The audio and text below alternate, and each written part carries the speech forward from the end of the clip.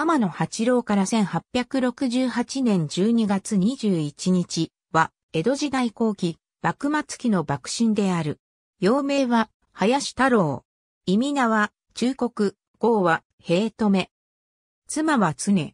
子は一男一女。上野国官ら軍、岩戸村の名主代、井田吉五郎忠宏の次男。幼少時から学問や武道を収め、次期新影流を学ぶ。1865年、江戸町火消し寄木の広浜義行神の養子となったが、翌1866年に離縁し、自ら旗本、天野氏を称して、天野八郎と名乗った。江戸へ移り、将軍、徳川家持上洛の際には警護のため上洛する。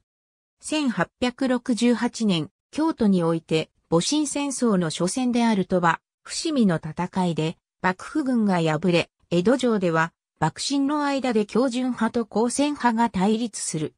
八郎は、再起を目指す、幕府急進派の一員となり、渋沢誠一郎が結成した、将棋隊の副頭取となる。将棋隊は、江戸の市民から慕われたが、無血解除後は、内部で路線対立が起こり、八郎が公選を主張したため誠一郎が脱退。このため、八郎が頭取として実権を持ち、上野関英治を本拠に置いて、新政府軍に徹底抗戦しようとした。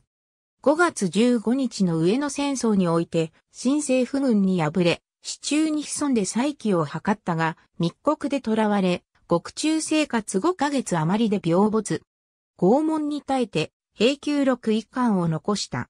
カバネは小塚っ腹に行き、去年38、黒門口を守ろうと旗本など44名を連れて、三王台へと駆け上がり、いざ一戦と後ろを見たら誰もいなかったという。この時の心境を、徳川氏の柔ら極まるを知ると後に、獄中で書き残している。村民間の争いを仲裁したエピソードなどがある。男なら、決して横にそれず、ただ全身あるのみと言って、将棋の駒の強者を好んだという。墓所は東京都荒川区の円通寺。ありがとうございます。